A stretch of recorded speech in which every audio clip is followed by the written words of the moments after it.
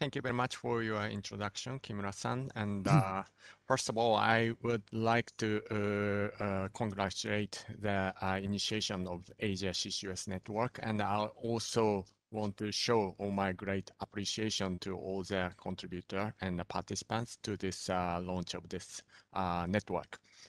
So again, as Kimura-san has said, that Japan and the ERIA that is uh, Uh, uh, uh, organization that proposed the launch of Asia CCUS network at the EAS Energy Ministerial last November.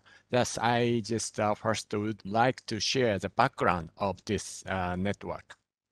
Well, uh, the first thing is, of course, the uh, potential of uh, CCUS in Asian region. And uh, we heard a lot about that uh, by the uh, remarks from the uh, special uh, guest uh, at the beginning of this event.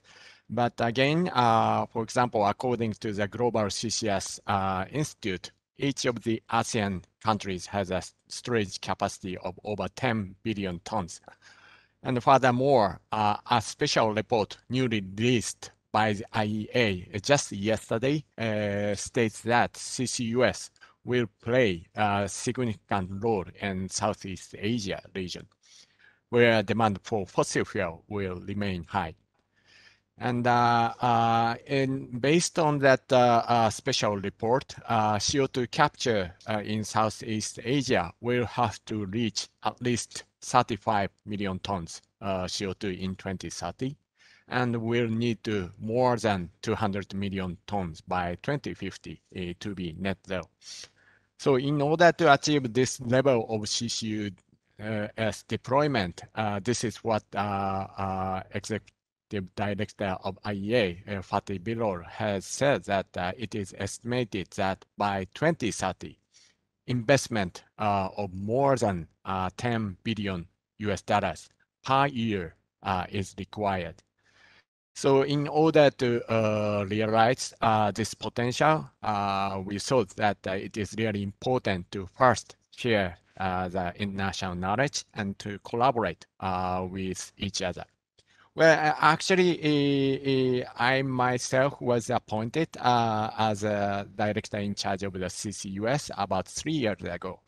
And until then, actually, from my personal experience, I knew very little about uh, CCUS.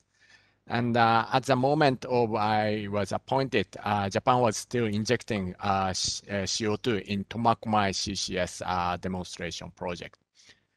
And uh, since then, actually, Japan and of, of, course I learned a lot, not only domestically, but also in the world for example, or, or our uh, parliamentary secretary from my ministry participated the CCUS summit in 2018, uh, hosted by IEA and the UK in Edinburgh. And uh, we also learned a lot under the framework of Clean Energy Ministerial or G20. And uh, we also had um, opportunity to participate in many international workshops and on CCUS. And uh, actually, those are all the, uh, you know, kind of the CCUS friends. And, uh, you know, oh, that's why uh, through uh, those experiences, we, Japan, and I myself learned a lot in, in order to develop CCUS.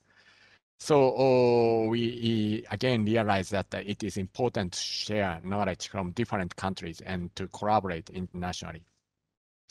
And also, uh, more than that, uh, actually for the development of CCUS, uh, regional approaches uh, of uh, to CO2 transport and storage infrastructure could enable faster uh, and widespread uptake of CCUS in Southeast Asia. So in particular, the development of large shared uh, CO2 storage resources uh, that can be accessed by multiple, multiple facilities and countries could support uh, CCUS investment in location where storage uh, capacity is either limited uh, or where its develop, development faces delays. So uh, actually, regionally approaches to CCUS uh, deployment are currently be, being pursued, uh, for example, in Europe. And uh, the Northern Lights uh, project, a major CO2 storage development in North uh, Sea by Norway, the UK, and Netherlands. So those led to the concept of Asia CCUS network, actually. And, uh, uh, you know, in order to realize the network, we had uh, many discussion with, of course, uh, Kimura-san, who is the moderator of today, and uh, ERIA colleague. And, that, and then as a result, Japan and ERIA made a proposal to establish an Asia CCUS network uh, at the EAS Energy Ministerial last year. And even after the uh, uh, energy ministerial meeting, uh, we have had uh, many discussions with uh, officials of, ASEAN countries, of course, uh, colleagues who are participating today. And actually, we formulated a vision and a mission of the network, which was already introduced by Kimura-san. And actually, uh, I think uh, the, the, this is really the uh, power of the vision uh, because, you know, oh, this vision was endorsed by not only by 10 ASEAN countries, of course, Japan, but also by the United States and Australia. And uh, in addition to those uh, government, you know, more than 108, 100 entities, including IEA, ASEM, and private companies also endorsed and supports the vision, uh, vision and mission. So again, uh, you know, oh, I understand uh, that uh, it will take more time to realize uh, CCUS in Asia. But uh, again, uh, throughout the discussion, even up to now, we understand that the CCUS is really indispensable technology in this region you know, oh, that's why uh. I hope that the Asia CCUS network uh, will become a platform for realizing this. And, uh, you know, I uh, really uh, looking forward to put uh, all the policymakers put this technology into the pocket of the long-term strategy. Thank you very much.